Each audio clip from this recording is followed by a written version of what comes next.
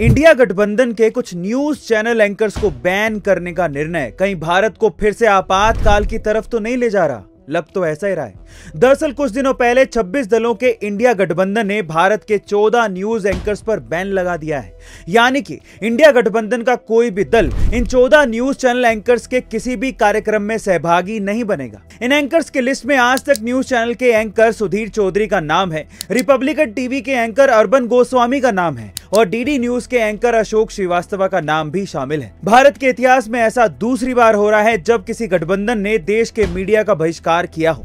इससे पहले इंदिरा गांधी के दौर में आपातकाल के दौरान सभी मीडिया चैनल्स को बैन कर दिया गया था। गठबंधन के नेताओं के अनुसार ये सभी न्यूज़ एंकर्स अपने कार्यक्रम में नफरत की दुकान चलाते हैं। पर नफरत के बाज़ार में प्यार की दुकान खोलने के चक्कर में कहीं ये लोग, ये तो नहीं भूल गए कि मीडिया किसी भी लोकतंत्र का चौथा स्तंभ होता है। वैसे गाइज़ आपको इंडिया अलायंस का कदम कैसा महसूस करवा रहा है कमेंट सेक्शन में ज़रूर लिखेगा। क्या हम भारतीयों की जान इतनी सस्ती है? बेंगलोर से अमेरिका पढ़ने गई जानवी कांडूला की आज से आठ महीने पहले सड़क पार करते समय मौत हो गई थी, क्योंकि वो तेज़ी से आ रही पुलिस की कार की चपेट में आ गई थी। लेकिन अब यह मामला इतना तूल क्यों पकड़ रहा है? वो इसीलिए क्योंकि वो यूएस पुलिस वाला एक वीडियो फुटेज में जानवी की मौत का मज़ाक बनाते हंसता दिखाई दे रहा है। जब उससे दूसरे पुलिस ऑफिसर ने पूछा की अगर जानवी की फैमिली ने डिपार्टमेंट पर केस कर दिया तो क्या होगा तो वो पुलिस ऑफिसर कहता है कि उस लड़की की ज़िंदगी की कोई अहमियत नहीं है। दे देंगे ग्यारह हज़ार डॉलर और जान छुड़ा लेंगे। जरा सोचिए कि ये सुनकर जानवी के माता पिता पे क्या गुजर रही होगी।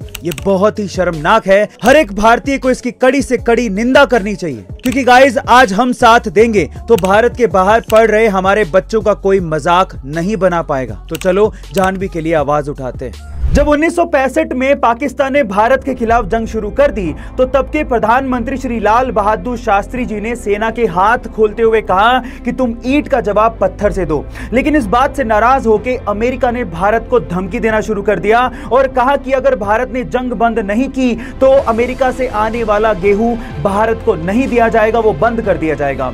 इस बात से लाल बहादुर शास्त्री जी ने सबसे पहले अपने रसोइये को कहा कि तुम अब से सिर्फ़ एक ही वक्त का खाना बनाओगे और उसके उसके बाद देशवासियों से अपील की कि वो अब एक ही वक्त का खाना खाएँ, क्योंकि हम लोग एक वक्त का खाना खा लेंगे, लेकिन यूएस की धमकियों के आगे झुकेंगे नहीं।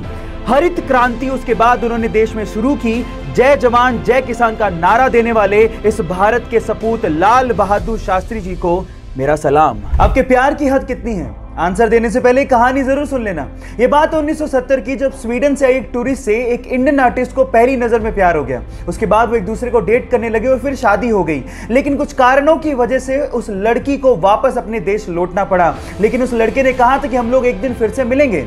इतने पैसे नहीं थे कि वो लड़का फ़्लाइट ले सकता। इसलिए साल भर बाद उसने अपना सब कुछ बेच के साठ रुपए में एक साइकिल खरीदी और पाँच सौ रुपए लेके दीवाना निकल पड़ा दिल्ली से अपने प्यार से मिलने। और चार महीने की मशक्कत के बाद कोई टेक्नोलॉजी ना होने के बावजूद भी वो स्वीडन पहुँच गया। इतना शिद्दत वाला प्यार देखकर लड़की के माँ बाप ने लड़के और लड़की की फिर से स्वीडन में शादी करवा दी।